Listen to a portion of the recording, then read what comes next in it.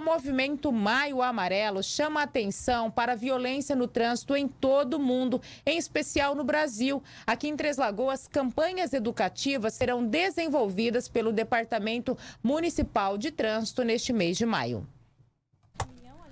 Maio Amarelo é uma mobilização nacional para desenvolver uma ação coordenada entre a sociedade civil, a iniciativa privada e o poder público, reunindo a sociedade para discutir e criar engajamento nessa causa que afeta todos nós. O objetivo é único: acabar com as mortes e as lesões provocadas pelos acidentes de trânsito. A gente está com a hashtag Juntos Salvamos Vidas no Trânsito, né? Que é a campanha mundialmente conhecida do Maio Amarelo já faz mais ou menos uns sete anos que nós fazemos parte desse movimento, que é o Maio Amarelo. Aqui na cidade, a gente vai ter blitz educativa de orientação também, assim como palestras em algumas escolas estaduais particulares. E também o pessoal de empresas que quiserem nos contatar. Nós ficamos aqui na rua Paranaíba, número 2600, no Jardim Primaveril. A gente também atende pelo telefone, que é 39299959. Pessoal de grupos assistenciais, de empresas que queiram fazer palestra, nós ainda estamos com a agenda aberta. Então, um pouquinho lotado, mas é para fazer alguns encaixes também para poder atender todo mundo.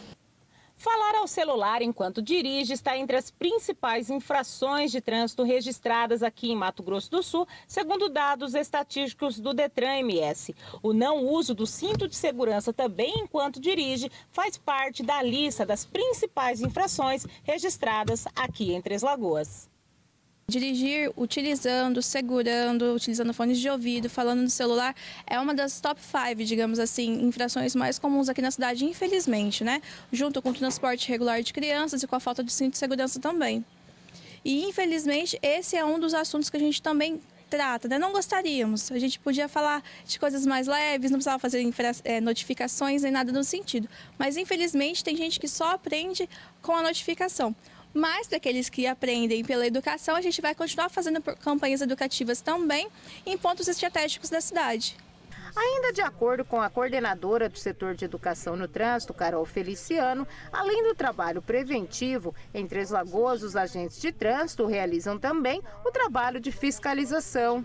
O serviço de fiscalização ele está normal, como vem acontecendo nos anos anteriores. Não tem nada é, além assim do, do esperado. Eles fazem as partes educativas e de fiscalização também.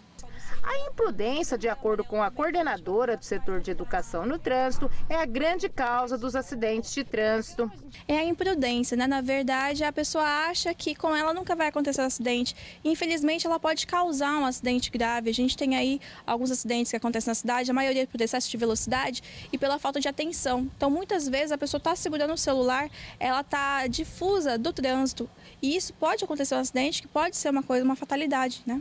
O Maio Amarelo vem justamente para isso, para mostrar a importância do motorista dirigir com atenção. Amarelo é a cor da atenção, assim como no semáforo mostra, né? Então, vamos ter atenção e salvar vidas no trânsito, porque é isso que a gente precisa. Infelizmente, nós estamos hoje é, contabilizando aí duas vítimas né, de acidente fatal de trânsito. São percas que irreparáveis, infelizmente, a família que perde, né, a sociedade perde também, e a gente quer um marco zero. Quem sabe, né, paramos nesses, nessas duas vítimas apenas para não, para que mais vidas não sejam ceifadas.